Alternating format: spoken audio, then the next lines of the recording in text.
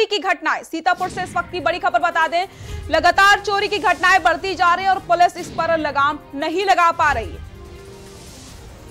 चोरों ने चटकाए हैं कई घरों के ताले। आपको बता दें, लगातार चोरी की घटनाएँ बढ़ती जा रही हैं, लेकिन पुलिस इस पर रोक नहीं लगा पा रही। खुली चुनौती दे रहे हैं चोर पुलिस को। लाखों रुपए के सामान पर हाथ साफ़ किया है चोरों ने। थाना बिस्वा के गोपाल नगर का यह पूरा मामला है, आपको बता दूँ।